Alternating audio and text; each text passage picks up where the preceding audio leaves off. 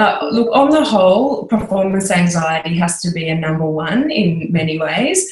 Um, the performing is or, or exhibiting, so the, the moment where you present your work to the public, even if you're not the performer as a visual artist, um, is completely nerve wracking. And there's not much scaffolding that gets done around that in education in the way that we teach our young artists. So we just we expect in many ways that they're going to be able quite naturally to step onto stage to do what they need to do.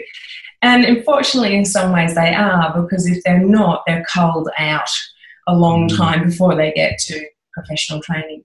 So, certainly, performance anxiety is a big one, but connected to that, um, confidence issues around being able to um, set goals and achieve things for themselves.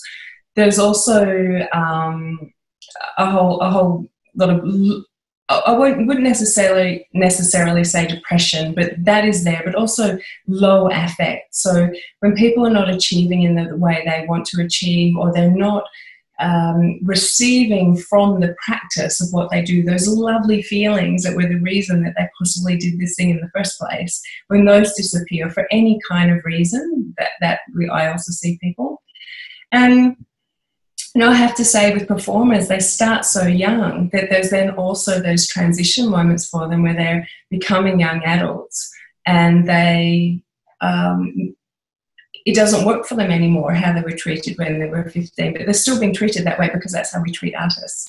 So they're mm. wanting more autonomy or more freedom or more uh, time to explore the world, but they don't have it because they're in the studio all day rehearsing.